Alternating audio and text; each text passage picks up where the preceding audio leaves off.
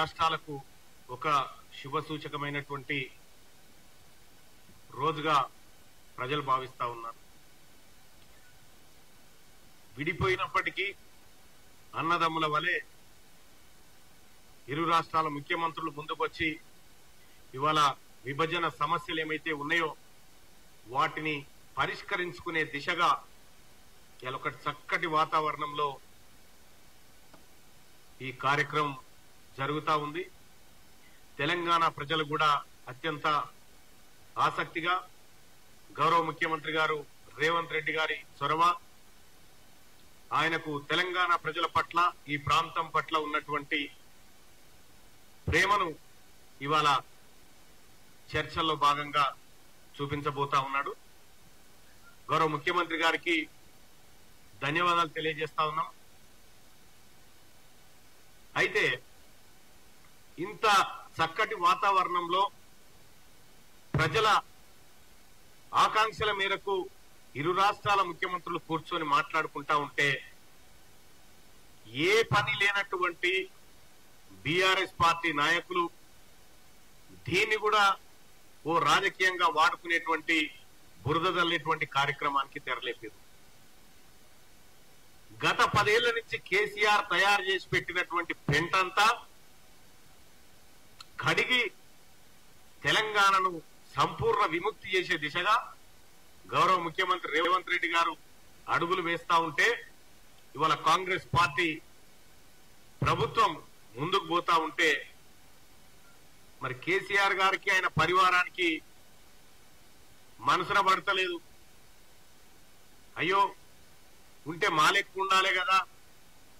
మాలెక్కనే ప్రజల్ని ప్రజల్ని మభ్యపెట్టాలి కదా అనేటువంటి ఉద్దేశంతో ఇవాళ టిఆర్ఎస్ పార్టీ నాయకులు వ్యవహరిస్తా ఉన్నారు. పదేళ్ళ కాలంలో మీరు జగన్మోహన్ రెడ్డి గారు కేవలం మీ స్వార్థ రాజకీయాల కోసం తప్ప దేనికోసమన్నా ప్రగతి భవన్లో మీరు వాడుకున్నారా? ఓ ఇద్దరు రాష్ట్రాల ముఖ్యమంత్రులు కూర్చొని మాట్లాడి ఉన్న సమస్యలేంటి? అనేటువంటి చర్చ ఎప్పుడైనా జరిగిందా? కలవ కలవకుంట్ల చంద్రశేఖరరావు గారిని మేము అడుగుతా ఉన్నాం. ఏ ఒక్క రోజు కూడా ఈ ఇరు రాష్ట్రాల ప్రయోజనాలను కాంక్షించినటువంటి కల్వకుంట్ల చంద్రశేఖరరావు ఆయన పార్టీ ఇవాళ సుదీర్ఘకాలం పెండింగ్లో ఉన్నటువంటి అంశాలను పరిష్కరించుకునే దిశగా కాంగ్రెస్ పార్టీ ప్రభుత్వం ముందుకు పోతా ఉంటే ఇలా జీర్ణించుకోలేకపోతా ఉన్నారు. తెలంగాణలో, ఆంధ్రాలో కలపడానికి అంగీకరించినటువంటి కేసీఆర్ అప్పటి ముఖ్యమంత్రిగా ఉన్నటువంటి ఆయన ఇవాళ ఏడు మండలాలు వాపసు తీసుకురావాలి కృష్ణా నీళ్ళలో వాటా మనది మనకు రావాలి. ఈ అన్నిటికీ కారకులు మీరే కదా. సాగు చే చంపినోడే శవం దగ్గర కూర్చొని ఏడిచినట్టుకుంది ఆయన కథ. ఇవాళ ఏపీతోని సత్సంబంధాలు దెబ్బతిని తెలంగాణ రాష్ట్ర ప్రజలకు ఏపీ ప్రజలకు మధ్య నిత్యం ఏదో గొడవ జరిగే విధంగా కేసీఆర్ గారు ఆ రోజు వ్యవహరిస్తే ఇవాళ ఇరు రాష్ట్రాల ముఖ్యమంత్రులు మళ్ళీ అన్నదమ్ముల వలె ఈ రెండు రాష్ట్రాల ప్రజలు విడిపోయినప్పటికీ భూభాగాలు విడిపోయినప్పటికీ కలిసిమెలిసి ఉండి అందరం ఒక తల్లి పిల్లలుగా ఉండాలని చూసుకుంటా ఉంటే ఇలా నేను అడుగుతా ఉన్నా కాంగ్రెస్ పార్టీ మిలాఖాత్ అయిపోయింది అని చెప్తా ఉన్నారు. సిగ్గుండాలి మాట మాట్లాడడానికి. పార్టీలు వేరు ప్రభుత్వాలు వేరు. కాంగ్రెస్ పార్టీ ప్రభుత్వం తెలంగాణ ప్రజల ఆకాంక్షల మేరకు పనిచేస్తుంది. తెలంగాణ ప్రయోజనాల కోసం పనిచేస్తుంది. కానీ కేసీఆర్ గారు మీరు ముఖ్యమంత్రిగా ఉన్నటువంటి సందర్భంలో నీవిచ్చినటువంటి కాంట్రాక్ట్లు నువ్వు చేసి పెట్టినటువంటి దోపిడంతా ఆంధ్ర నుంచి మనకు రావాల్సిన వాటాలు అనడం వదిలేసి ఇక్కడున్న సంపద అక్కడ దోచిపెట్టినటువంటి మీరు ఇవాళ కాంగ్రెస్ పార్టీ నిబద్ధత గురించి కాంగ్రెస్ పార్టీ పాలన గురించి మాట్లాడడం సిగ్గుచేటు. ఇంకా ఏ అంశం తీసుకున్నా ఏదో ఒక కాంట్రవర్సీ చేయాలి. ప్రజల్లో గందరగోళం సృష్టించాలనేటువంటి ఈ చిల్లర పనులు బంద్ చేసి ఆ ప్రతిపక్ష నాయకుడిగా నీ పాత్ర నిర్వహిస్తే బాగుంటది. ఇప్పటికే మిమ్మల్ని మీ మాటల్ని నమ్మక ఎక్కడి పార్టీ నాయకులు అక్కడికి వెళ్ళిపోతా ఉన్నటువంటి సందర్భంలో ఇవాళ ఇరు రాష్ట్రాల ముఖ్యమంత్రుల భేటీని వివాదం చేయదలుచుకున్నారు దీన్ని తెలంగాణ ప్రజలు గమనిస్తా ఉన్నారు. అసలు ఏ ఒక్క రోజైనా ఏ ఒక్క రోజైనా ఏపీ నుంచి రావాల్సినటువంటి విద్యుత్ బకాయిల మీద ఎన్నడట మాట్లాడినావా? ఇటు పోతాం నరేంద్ర మోడీ గారి దగ్గర పోతాం మా దగ్గరనే అడబలుగా పైసలు మాకెందుకని చెప్తాం ఇవాళ ముఖ్యమంత్రి గారు గౌరవ ముఖ్యమంత్రి రేవంత్ రెడ్డి గారు అటు రాష్ట్ర ప్రయోజనాల కోసం నరేంద్ర మోడీ గారు ప్రధానమంత్రి హోదాలో ఉన్నటువంటి నరేంద్ర మోడీ గారి దగ్గరికి ముఖ్యమంత్రి హోదాలో పోయి కలిసి ఈ ప్రాంతానికి రావాల్సినటువంటి హక్కుల కోసం మాట్లాడి ఈ రాష్ట్ర ప్రజల ప్రతినిధిగా ఆయన పోతే ఇవాళ కాంగ్రెస్ బీజేపీ మిలాఖత్ అయిందని చెప్తూ సాధ్యమవుతుందా ఇది? ఎవరన్నా నమ్మే ముచ్చట్నేనా ఇది? బీఆర్ఎస్ పార్టీ నాయకులకు ఏ మాత్రం సిగ్గనిపిస్తలేదు.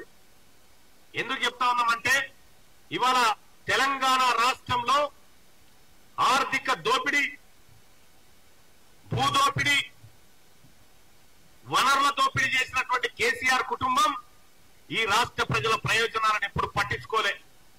తెలంగాణ రాష్ట్రం ఏర్పడినటువంటి నీళ్ళు నిధులు నియామకాల కోసం ఇవి నెరవేరాలనేటువంటి ఆకాంక్షతోని ఆ తల్లి సోనియా గాంధీ కాంగ్రెస్ పార్టీ అప్పుడు యూపీఏ గవర్నమెంట్ తెలంగాణ రాష్ట్రాన్ని ఇస్తే రాష్ట్రాన్ని కుక్కలు చింపిన ఇస్తరాకులాగా మార్చినటువంటి కల్వకుంట్ల చంద్రశేఖరరావు గారికి ఎలాంటి అర్హత లేదు. ప్రస్తుత భేటీ గురించి మాట్లాడడానికి అని చెప్పి తెలియజేస్తా ఉన్నా. కనీసం ఈ భేటీని స్వాగతించాల్సింది పోయి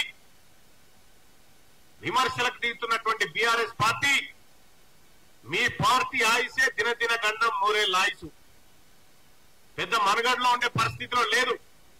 ఇవాళ తెలంగాణ ప్రజలు హర్షిస్తా ఉన్నారు.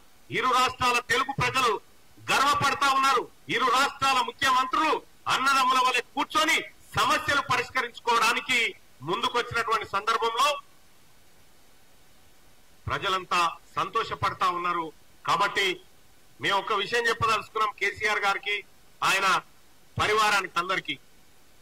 పదేళ్ళ పాటు గతంలో ఉన్న విభజన సమస్యలు అట్లుండగా పదేళ్ళ పాటు నువ్వు తయారు చేసిన పెట్ట మామూలుగా ఏం లేదు. పదేళ్ళ పాటు అనేకమైనటువంటి సమస్యలు సృష్టించరు. ఇక్కడ కృష్ణానది నీళ్ళ వాటా విషయంలో సుప్రీంకోర్టులో ఉన్న కేసును వాపసు తెచ్చుకుంటాం. అన్ని సమస్యలను జటిలం చేసినాం. ఇవాళ కేసీఆర్ చేసిన పాపాలను కూడా రేవంత్ రెడ్డి గారే కడగాల్సినటువంటి పరిస్థితికి వచ్చింది. సోదరులారా జగన్మోహన్ రెడ్డి గారు ప్రగతి భవన్కి వచ్చినప్పుడు గాని మీరు అటు విజయవాడకు పోయి ఇటు తిరుపతికి పోయి ఇక్కడ దర్శనాలు చేసుకొని వచ్చినప్పుడు గాని ఏ ఒక్కరోజైనా అక్కడి ముఖ్యమంత్రిని మీరు ఆహ్వానించిరా మాట్లాడుకుందామని లేదంటే మిమ్మల్ని జగన్మోహన్ రెడ్డి గారు ఆహ్వానించిరా? మీరు ఎప్పుడు కలిసినా గొంగడి కల్ గొంగడి కప్పుకొని చీకట్లో కలిసేటోళ్ళు మీరంతా. మీది చీకటి రాజకీయం. ఇవాళ కాంగ్రెస్ పార్టీ ప్రభుత్వం గౌరవ ముఖ్యమంత్రి గారు చేస్తుంది పక్కా ప్రజా ప్రయోజనార్థం చేస్తున్నటువంటి వ్యవహారం. ఇక ప్రతి పని వెనకాల కేసీఆర్ కుటుంబం రాజకీయ ప్రయోజనాలు చూసుకుంది. ఇలా గౌరవ ముఖ్యమంత్రి రేవంత్ రెడ్డి గారు తెలంగాణ ప్రజల ఆకాంక్షలను చూస్తా ఉంది.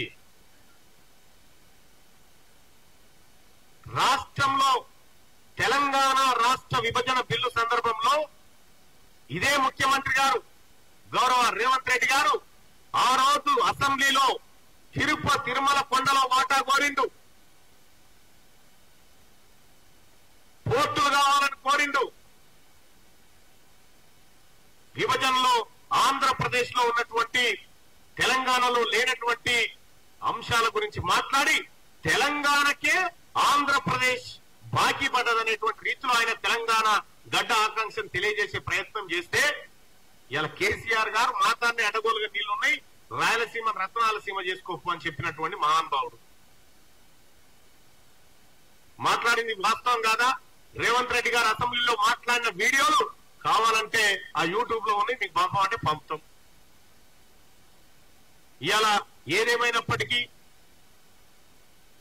ఒక మంచి వాతావరణంలో సమావేశం జరుగుతా ఉంటే ఈ మంచి వాతావరణాన్ని చెడగొట్టాలనేటువంటి ఉద్దేశంతో బీఆర్ఎస్ పార్టీ ప్రయత్నాలు చేస్తా ఉంది. తప్పకుండా ప్రజలు గమనిస్తా ఉన్నారు. ఇవాళ రేవంత్ రెడ్డి గారికి తెలంగాణ ప్రజల పక్షాన ధన్యవాదాలు తెలియజేస్తా ఉన్నాం. ఆయన చర్చల్లో తెలంగాణ ప్రజల ఆకాంక్షలు నెరవేర్చబోతున్నందుకు ధన్యవాదాలు.